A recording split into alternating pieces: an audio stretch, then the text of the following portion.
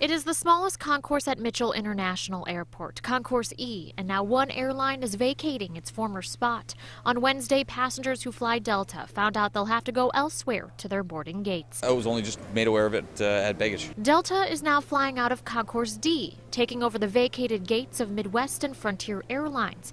The airport says it'll provide a much bigger, more convenient space for travelers. Last year, the carrier expanded services to other cities, making it the second largest airline at Mitchell behind Southwest. Right now we're running about 30 flights a day. Last year they added more service to New York. Um, they continue to, you know, continuing to grow here in Milwaukee. There are more security lanes in D, meaning shorter lines, faster checkpoints. There are more dining options, five at D compared to one at E, and that bodes well for passengers like Henrietta Matfin. I haven't had breakfast, so a cup of coffee and something to eat would be great.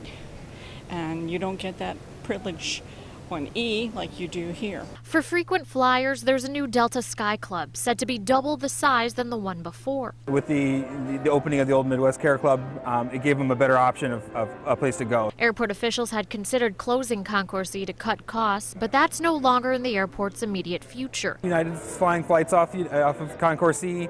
Um, so it continues to be open. Their focus now is better passenger service for both airlines, a move travelers fully support. I like it better. In Milwaukee, Angelica Duria, Fox 6 News.